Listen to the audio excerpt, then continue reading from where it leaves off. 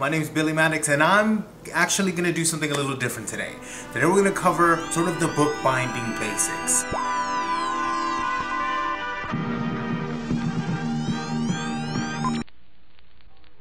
This is going to be a series of videos.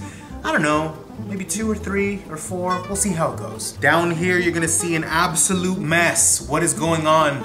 Well, this is a number of books that I've made that have been strewn about my house. The first thing I wanted to talk about was papers.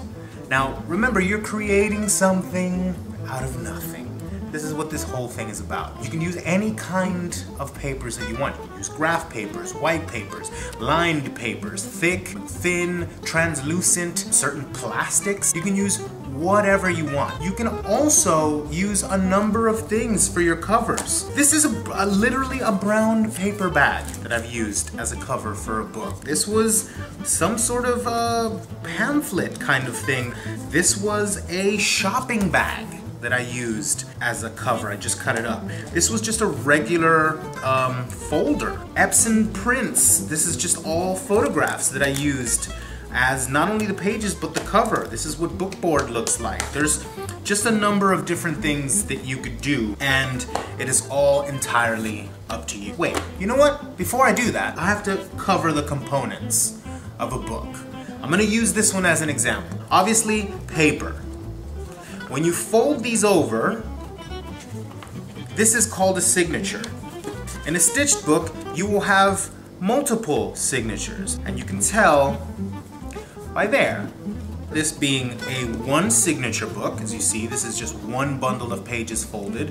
This is a multiple signature book. When you've got your signatures all together, something like this, this is a book without a cover, um, your entire thing without a cover is called a text block or a block. So you have your pages, you have your signatures, pages folded, and you have your block. Then obviously you add a cover. They can be hardcover, soft cover, a cover that's stitched on there, or could just be all paper. The very first stitch that I wanted to go over or show you is a saddle stitch. It's the easiest one of them all. It is a bunch of pages folded over into one signature and then stapled. Usually it's three and they're stapled together and you see what that looks like on the outside. That is a saddle stitch. Stepping up from that is a pamphlet stitch. It's a simple one signature book, as you see here, and it's a simple stitch. There are three holes, essentially the same kind of configuration as a saddle stitch, and also the same concept, really. You're, you're wanting to sort of bind this in three points. I'm not gonna show you how to do it in this, but I'm just gonna show you the different types. This is probably my favorite. Sometimes I wanna do something with a lot more pages, something like this has multiple signatures, and this is all stitched together in what's called a uh, case bind. Uh, this is a soft cover. Usually a case bind is a hardcover book. Let me show you here. You know, same concept. Um, and they're all bound together in multiple signatures and then glued onto a hard hardback uh, book. You can see the stitches there.